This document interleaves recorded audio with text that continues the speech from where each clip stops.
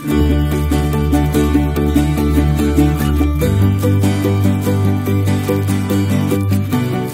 everybody, it's Brian Yanish from Scrapkins here in the studio. I wanted to show you how to do one of my favorite projects, and this is the milk carton pirate ship. And the way we're going to do this is I'm going to do the video in five different steps, and you're going to be able to see how to make this exactly the ship at home. So, this is actually a project from my first book, the Build It book. If you're interested in any of these books, check the link down below and you can actually order them. First thing we're going to do is we are going to start with a milk carton. This happens to be a rice milk container.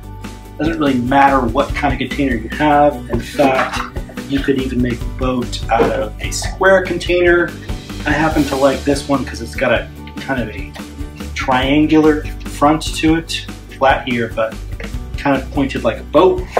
Um, we've also made this same project out of a really tiny milk carton. So it doesn't really matter which milk carton you have. And it's cool to experiment with different kinds of floating containers. Maybe you could try to make this boat out of a plastic milk jug. But we're gonna start with this. The first thing we're gonna do is we're gonna cut the top third off this milk carton. Now, here is the most challenging part of this project. Very difficult to get scissors to cut a milk carton. So what I'd recommend is that you do this project with your parents. Parents, you can help with the cutting. Kids, you can decorate it. You guys can both assemble it together. So what we're gonna do first is we're gonna open up this milk carton. This allows us to get the scissors inside. And like I said, we're gonna cut off that top third.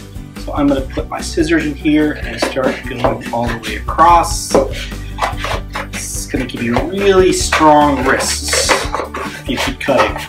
Now, of course, the toughest part is the bottom of that milk carton. It's really hard to get through with scissors.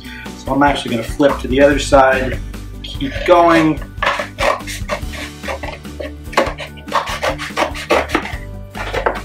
All the way across. Let's see if we can get that.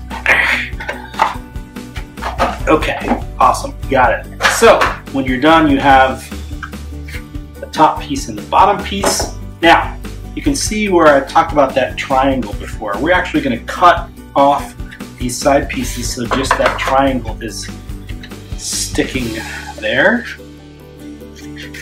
like so.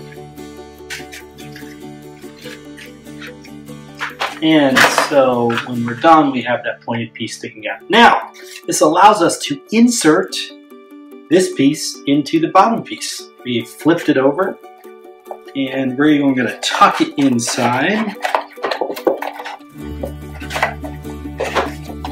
like so. Make sure we line up the edges and you can see that triangular piece kind of fits pretty cool, makes it look like the front of a boat. Next thing we're going to do is just going to take a stapler and put four staples to secure this top piece so it doesn't fall to the bottom of our carton. You get my, my uh, stapler here. One, two, three, four. Now you can see we've created the hull of our ship. This is what actually is going to be able to float.